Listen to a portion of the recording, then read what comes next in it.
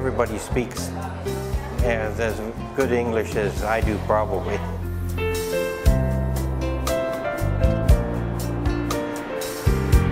Oh yeah, I already did a couple of times already since I've been here.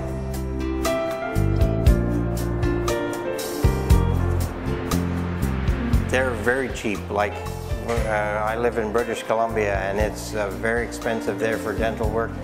Probably cost me probably 10 times more to get it done at home.